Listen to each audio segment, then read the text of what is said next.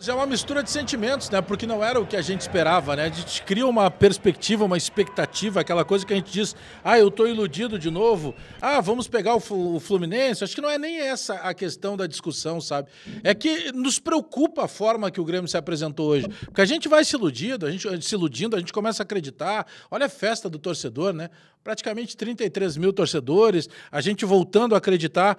Mas, poxa, a gente já estava numa boa, a gente já estava. É já estava classificado. E isso era importante. Agora, eu não esperava o Grêmio atropelando ninguém, mas eu esperava o Grêmio jogando minimamente melhor neste campo, né? Porque o campo tem qualidade, entregou qualidade para se jogar. O Grêmio fica muito claro, teve um erro tático muito grande do Renato no primeiro tempo. Eu sei que muita gente vai ficar bravo, porque a gente não pode criticar o Renato, quem é gremista, mas na minha opinião, teve um erro tático sim do Renato. No segundo tempo, o próprio Renato ajusta esse time, tanto que o gol do Grêmio sai bem no comecinho, porque o Grêmio começa a marcar mais forte, começa a marcar mais adiantado, marca sob pressão. Agora, a partir dali, tem o gol do Cristaldo. Quando o Cristaldo sai do campo, naturalmente a gente não enxergou mais nada que prestasse dentro de campo. É brabo tu ter que esperar pelo Rodrigo ali. Ele vai fazer um jogo bom, aí o que, que vai acontecer? Vem algum gaiato lá e diz assim: ah, pronto. Aí fala do Eli agora, pronto. Uma bola atravessada, o João Pedro não vou esperar que marque, que é baixo. O Kahneman é um zagueiro experiente, não podia ficar olhando para cima. Mas aí tu tem um poste ali de quase 3 metros, que é o Rodrigo ali, e ele não ganha uma bola de cabeça.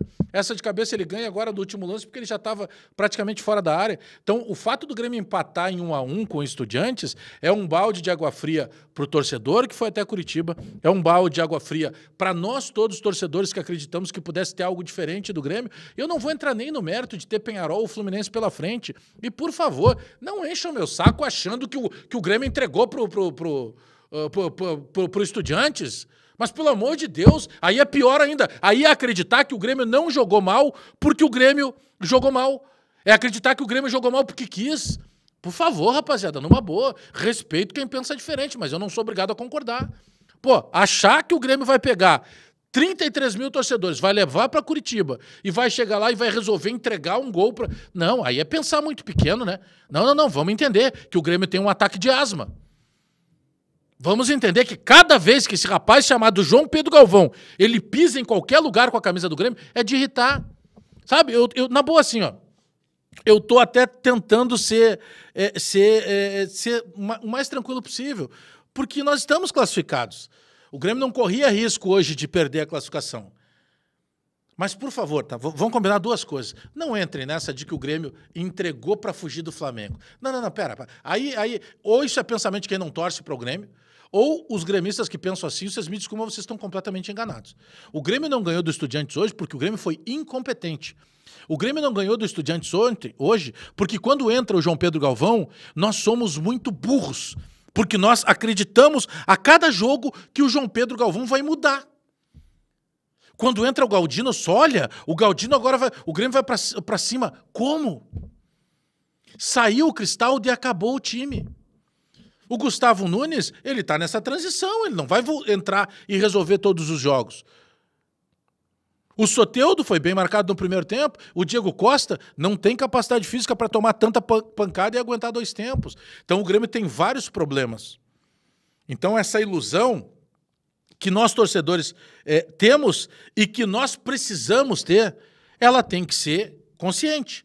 Eu me iludo quando eu ganho e eu passo a acreditar que o Grêmio resolveu seus problemas. Mas eu não posso esquecer que os problemas do Grêmio continuam ativos. O time do, do, do, do Estudiantes, ele veio com metade do time diferente em relação ao primeiro, ao primeiro, ao primeiro jogo. Uh, ele não tinha mais nada para fazer aqui no Brasil. Ele veio só para azedar o, o, sorvete do Grêmio. Agora, tem algumas coisas que elas ficam muito sensíveis, visíveis sensíveis. Não dá mais o João Pedro Galvão. Esse é daqueles casos. Não, não, ah, mas eu não tenho outro. Então não põe ele. Então muda taticamente o time. Não dá mais para. Não, não, não, entra na minha cabeça, não tenta me convencer. Não tem como acreditar em nada de João Pedro Galvão. Olha, poucas vezes na minha vida, eu tenho 48 anos.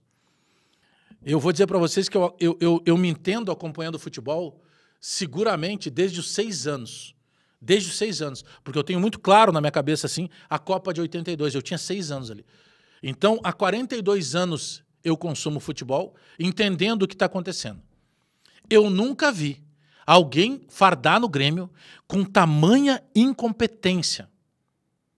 O João Pedro Galvão, ele faz o torcedor se irritar com o Grêmio. Porque eu estou irritado graças ao João Pedro Galvão. Porque não dá para a gente achar que tudo é bonito. Que isso, Bagé? O Grêmio está classificado. Sim, o Grêmio já estava classificado antes de jogar. Pô, 33 mil torcedores, os caras deixaram as famílias, pegaram o ônibus, é, dormindo dentro do ônibus, parando na estrada para tentar tomar banho em algum lugar. Sabe? Não dá. O Rodrigo Eli, sabe por que, que ele fez um bom jogo lá contra o Aspato? Porque foi um jogo que era, era o jogo do bico, era o jogo da tentativa de, de quebrar bola, sabe? E aí o ruim, ele vai ter um destaque, porque é o jogo dele. É o jogo da dificuldade. Agora tu vê, aí tu comemora um jogo de um rapaz que está um ano aqui. E aí, claro, não tem problema nenhum. Eu dou opinião o dia inteiro, todos os dias. É óbvio que várias coisas que eu falo aqui, elas vão ser contestadas e os caras vão me, me cornetear e tá tudo certo. Porque eu me empolguei com o Rodrigo ali, com o Marquezinho no jogo, porque eles foram bem. Agora, se eles fossem bem e eu continuasse batendo nos caras, aí seria mau caratismo. Não, os caras foram bem, beleza, parabéns para vocês, continuem assim. Mas não adianta, porque ele é fraco. Ele é fraco. Todos os problemas que acontecem quando o Grêmio leva um gol, dá uma procurada para ver se não está o Rodrigo Eli em campo. E aí tu me diz se, na maioria das vezes, o Rodrigo Eli não aparece na foto.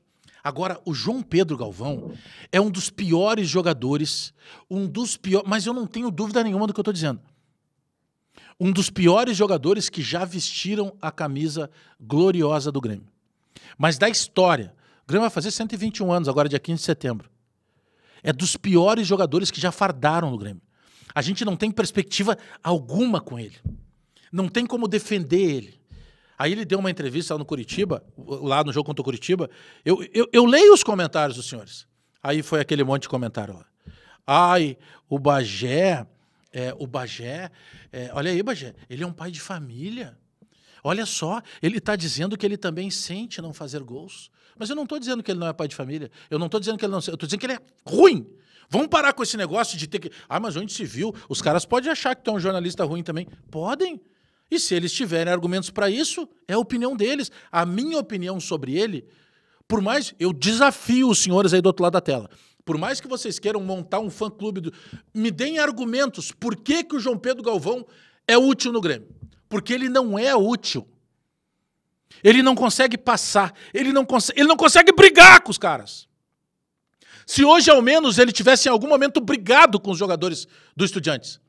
Sabe, para o cara olhar assim, isso, olha lá, entrou um reserva lá só para nos provocar. Ele não consegue fazer isso. Eu estou berrando, num jogo em que o Grêmio está classificado. Só que, repito, o Grêmio já entrou classificado no jogo. O Grêmio não corria o risco de não classificar. Eu tenho que acreditar que estes mesmos caras vão fazer diferente contra o Fluminense e poderia ser contra o Penarol. Eu penso até que o Fluminense tem mais time que o Penarol. Então, jogou mal, é crítica, não tem como ser diferente. Vamos parar com esse negócio. Mas ele é boa gente, mas ele é um bom cara, ele chega no horário. Mas é o mínimo que eu espero de um cara que ganha 850 pau por mês. É profissional.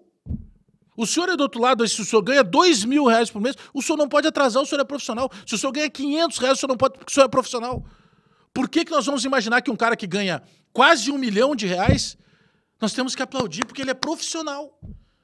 Ele não consegue dominar uma bola, ele não retém um ataque, ele não consegue segurar a bola. Se tivesse mais alguns minutos, seguramente nós teríamos tomado o gol da virada. E que para a classificação não ia mudar nada, porque o Grêmio já entrou em campo classificado. Mas o Grêmio teve a chance de ser o campeão do grupo. É simbólico? Não, não, é um simbolismo do caramba conseguir fazer isso. Para um, um Grêmio que começou nas duas primeiras rodadas totalmente bagunçado. Mas tem outros jogadores, tá? O Reinaldo, de novo, foi Reinaldo.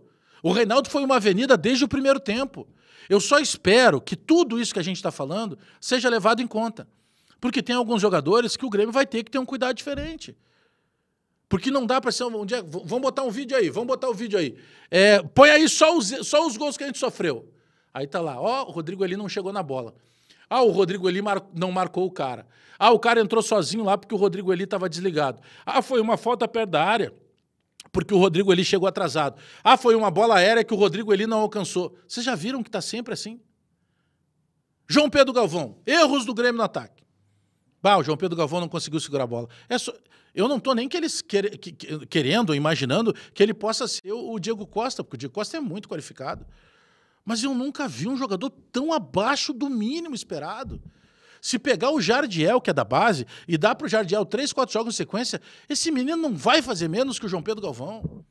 E aí, na semana passada, no Curitiba, tinha um cuidado, lá no, no, no, no, no jogo contra o Bragantino, teve um cuidado todo especial, até da direção de futebol, para tratar do João Pedro Galvão. Mas que tanto cuidado se tem com ele? Ele não tem cuidado nenhum com a torcida do Grêmio. É surreal. Eu nunca. Olha, eu já vi jogador ruim vestir a camisa do Grêmio. Em mais de 40 anos acompanhando o Grêmio, eu já vi muito jogador ruim. Mas eu duvido. Olha, se ele não for o pior jogador da história do Grêmio, e eu estou pegando ali do ataque, ele está seguramente no top 3. Ele é um dos três piores, mas sem dúvida. Ele é, é, ele é nulo. Ele é um jogador a menos.